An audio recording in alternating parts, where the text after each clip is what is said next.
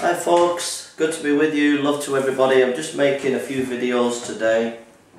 Uh, my website's uh, jasonburnspreacher.com jasonburnspreacher.com and uh, my Facebook uh, and Twitter, you can get me on there. From time to time I will share things on Twitter, I will share things on Facebook and uh, sometimes as I go and preach I'm going to start putting uh, content on Facebook where you'll see lots of videos that you won't see on YouTube and vice versa. So so I'll mix it up a bit but I've got some books to recommend. I've recommended them before but I think I've done them in, in group sessions of books. So I'm going to concentrate on a couple of books individually. So the first book individual to focus on is The Trinity. Um, so that's the book The Trinity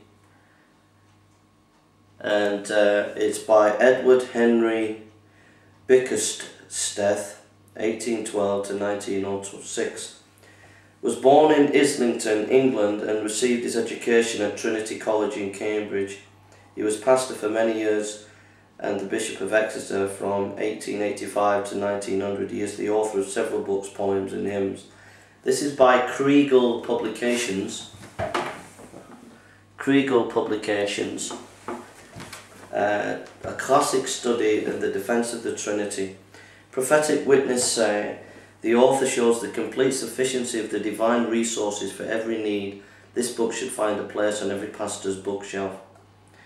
Um, evangelical Christian said, informative, inspirational, which will help to establish a new understanding of the wonder and ministry, mystery of this profound doctrine. Uh, it is the only book in print, so far as I know, that describes in detail each of the persons of the Trinity. It rep represents in parallel columns the marvellous deity of each one. This book has no competition. So, it, it, it's a very simple but very detailed and exhaustive look at the Trinity. Now, if you want to get a, a really good broad grasp of the Trinity.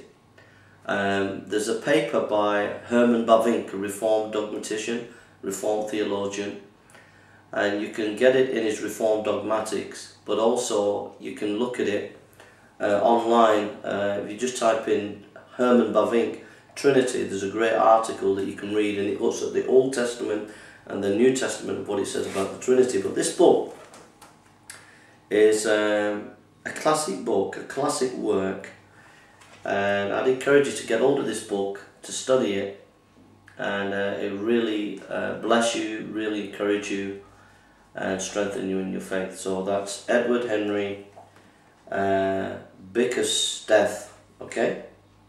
It's a classic work, get hold of that, okay? Thank you for listening, and God bless you.